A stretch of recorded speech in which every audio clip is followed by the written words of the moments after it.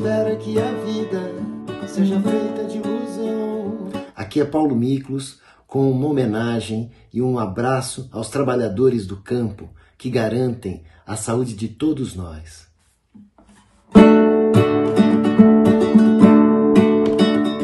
Quem espera que a vida seja feita de ilusão pode até ficar maluco ou morrer na solidão.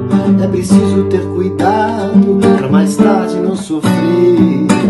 É preciso saber viver.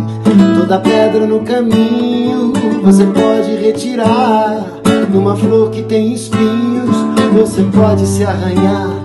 Se o bem e o mal existem, você pode escolher. É preciso saber viver. É preciso saber viver.